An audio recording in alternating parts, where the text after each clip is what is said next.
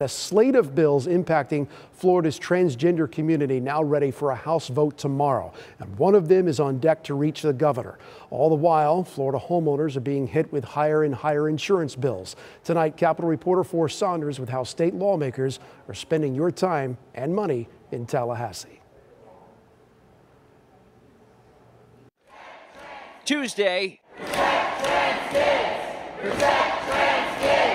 Brought more LGBTQ plus protests outside the House chamber as lawmakers ready to vote on three bills which some say are an attempt to censor Florida's transgender community. I don't believe it will silence us. I know that we are strong. They've tried to get rid of us before and we're still here. The policies limit male, female public restrooms to biological sex at birth.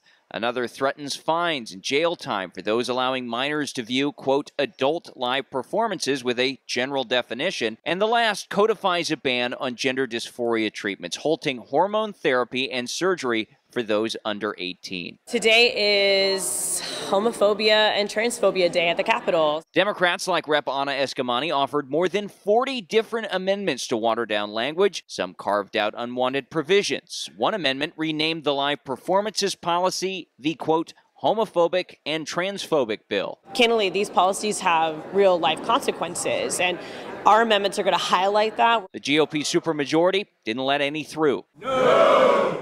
With the exception of one from Representative Randy Fine. He strengthened his gender dysphoria bill with limits on changing the sex on a person's birth certificate, prohibition of private insurance coverage of gender dysphoria treatments for anyone, and bolstered custody powers for parents wanting to prevent a child from getting those treatments. And so the fundamental debate is should childhood be a time of innocence and sheltering, or should we force them into the difficult world we all live every day as parents? I know this. I have two of them, and I'm going to fight like hell for them. If Fine's amended bill gets through the House on Wednesday, it'll have to go back to the Senate, which may not happen as the session is winding to a close. Look, we've got two more weeks, two and a half more weeks. There's plenty of time, and I think you know certain of us believe that um, that some of these issues are very, very important. The clock now ticking as the House readies to vote on these three controversial measures.